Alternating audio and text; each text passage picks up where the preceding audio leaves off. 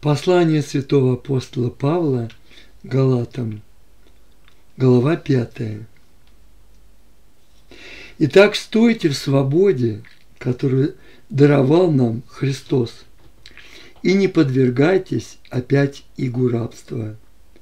Вот я, Павел, говорю вам, если вы обрезываетесь, не будет вам никакой пользы от Христа.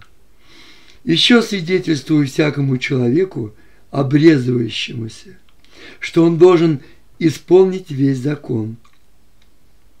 Вы, оправдывающие себя законом, остались без Христа, отпали от благодати, а мы духом ожидаем и надеемся праведности от веры.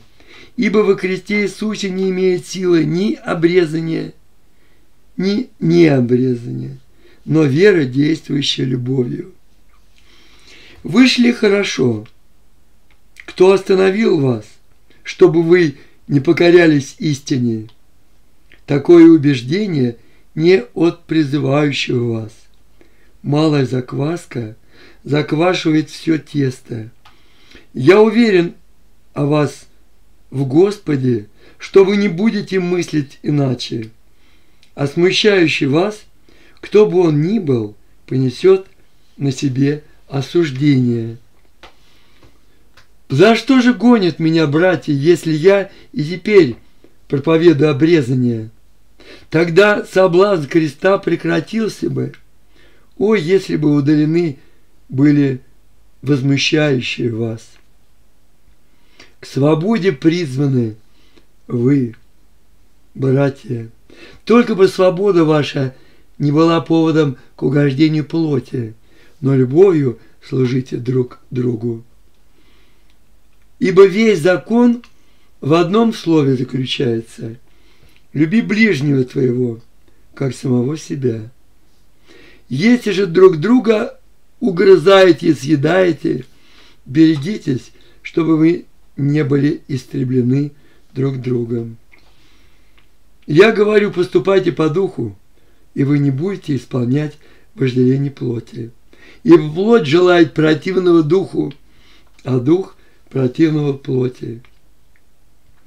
Они друг другу противятся, так что вы не то делаете, что хотели бы.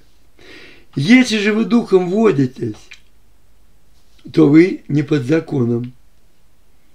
Дела плоти известны. Они суть прелюбодеяние, блуд, нечистота, непосредство – идолослужение, волшебство, вражда, ссоры, зависть, гнев, распри, разногласия, соблазны, ереси, ненависть, убийство, пьянство, бесчинство и тому подобное.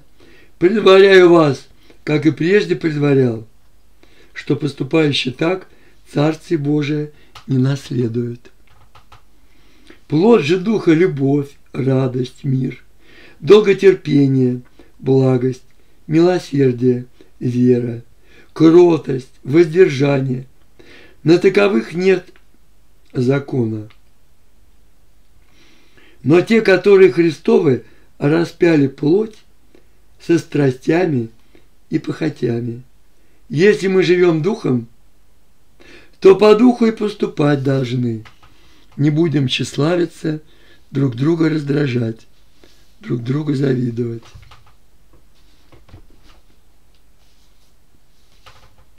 Вот так, дорогие друзья. Похожи ли мы на тех, кого называют христианами? Я думаю, что нет. Особенно, видите, как апостол говорит, если же друг друга угрызаете и съедаете, берегите, чтобы вы не были истреблены друг другом. Ой, как это заметно. Сейчас предвы... предвыборную было кампанию, друг друга съедали.